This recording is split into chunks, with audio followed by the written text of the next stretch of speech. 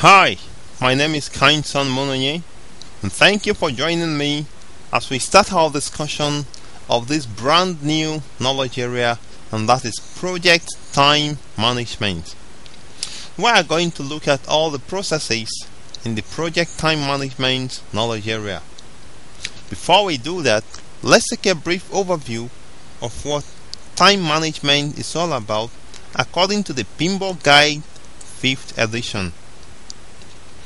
Project time management includes the processes required to manage the timely completion of the project.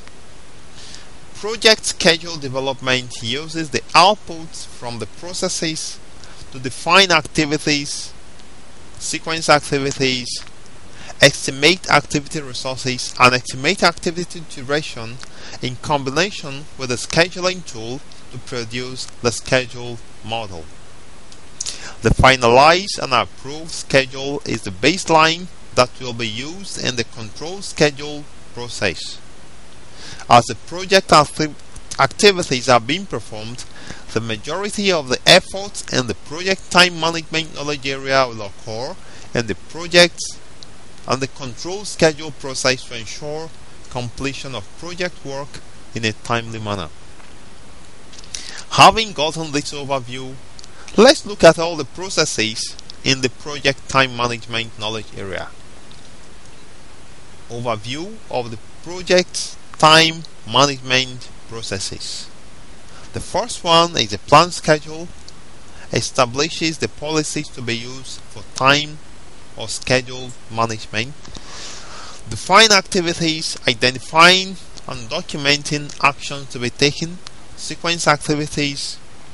It means to identify relationship among activities. Estimate activity resources. Eh, to estimate the type and quantity of materials needed. Estimate activity duration. Estimate the number of work periods needed.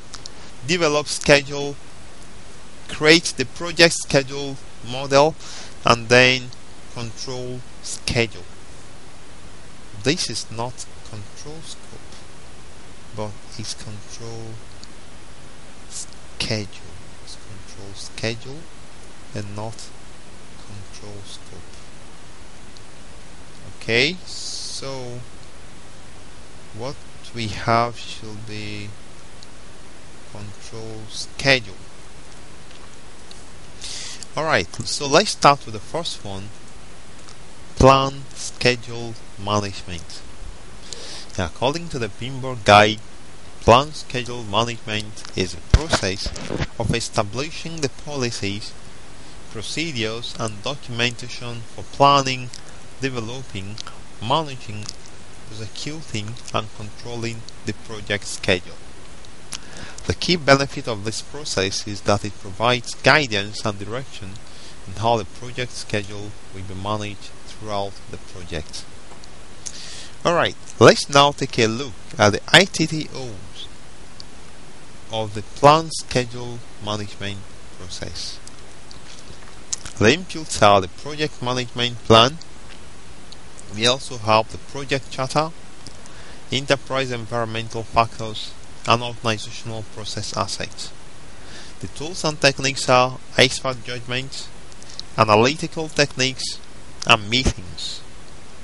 We only have one output from the plan schedule management, and that is the schedule management plan. As usual, we are going to discuss each of these ITTOs, and then that will make it easier for us to remember these input tools and techniques and output. So the question we will be asking is why do we need this particular input for this process? Project management plan as an input to plan time management or plan schedule management actually. So this should be plan schedule management we need the project management plan. The project management plan contains information used to develop the schedule management plan which includes the scope baseline. Remember the scope baseline is a work breakdown structure and also the scope statement and the WBS dictionary. Three of them make up the scope baseline. We also need the project charter. We need the project charter because it defines the summary milestones, schedule, and project approval requirements that will be that will influence the management of the project schedule. So already a summary schedule as it were is defined here in the project charter. Enterprise environmental factors and organizational process assets are part of the inputs to plan schedule management. What are the tools and techniques used to plan schedule management? We have expert judgments, analytical techniques, and meetings. Already we've discussed expert judgment in a previous presentation and we say that expert judgment which is also guided by historical information provide valuable insight about the environment and information from prior or similar projects. Expert judgment has to do with leveraging on the expertise of experts in the industry. For instance, professionals, subject matter experts, maybe the sponsor, maybe the customer. Hear from them and they'll give you ideas to help you plan schedule management.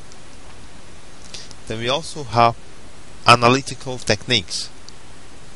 Analytical techniques has to do with use of such scheduling methodology methodology as uh, scheduling tools and techniques, estimating approaches, formats, project management software, and so on and so forth. As we discuss this process, we are going to get more clarification on these analytical techniques. And then another tool and techniques we need is meetings just simple. Project teams sit together and discuss how do we plan schedule management. What of the output of the plan schedule management? Simple, just one schedule management plan. A component of the project management plan. Remember, the project management plan is a collection of all other subsidiary plans and baselines including process improvement plan, requirement management plan. Alright, a component of the project management plan that establishes the criteria and the activities for developing, monitoring and controlling the schedule. The schedule management plan may be formal or informal, highly detailed or broadly framed based upon the needs of the project and includes appropriate control thresholds. Schedule management plan can establish the following level of urgency, units of measure, control threshold, rules of performance measurement, reporting formats, and process description. Maybe I will explain briefly some of these items. Let's look at level of accuracy. This is the acceptable range used to determine realistic activity duration estimates and is that is specified and may include an amount of contingencies. We also have units of measures to be used.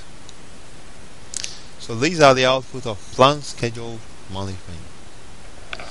Then the next presentation is going to be define activities.